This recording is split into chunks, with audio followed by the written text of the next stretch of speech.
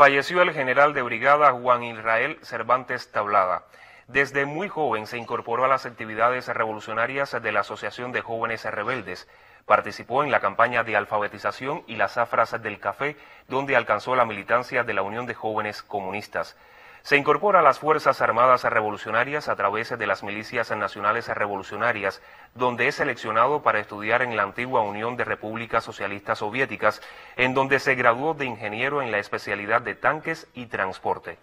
Por los resultados obtenidos y experiencia acumulada en su trayectoria en las FARC, alcanzó el grado de general de brigada y llegó a ocupar el cargo de jefe de la Dirección de Tanques y Transporte del MINFAR, donde realizó una meritoria labor al frente de proyectos vinculados con la modernización del material de guerra.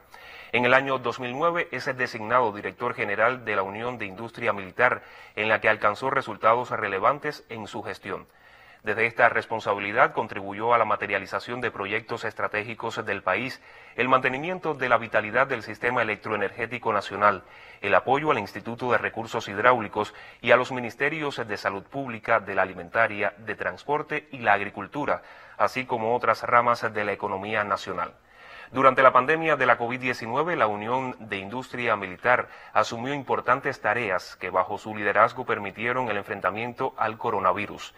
La Unión de Industria Militar ha sido reconocida por la máxima dirección del país en el marco de las sesiones de la Asamblea Nacional del Poder Popular por sus aportes a la economía nacional. Mantuvo su condición de militante del Partido Comunista de Cuba hasta su deceso. Fue seleccionado precandidato y candidato a miembro del Comité Central del partido.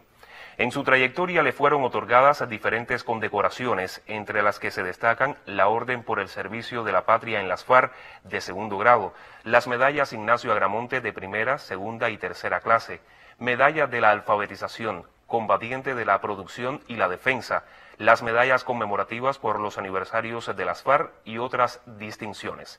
Durante su fructífera vida como revolucionario y oficial de las FARC, mantuvo excelentes relaciones con sus jefes y subordinados, lo cual le granjeó un gran respaldo, respeto y admiración de todos sus compañeros. Su cadáver será cremado y sus cenizas serán depositadas el venidero 13 de septiembre en el Panteón de las Fuerzas Armadas Revolucionarias, donde tendrá lugar y se le rendirán honores militares. Firma la nota del Ministerio de las Fuerzas Armadas Revolucionarias.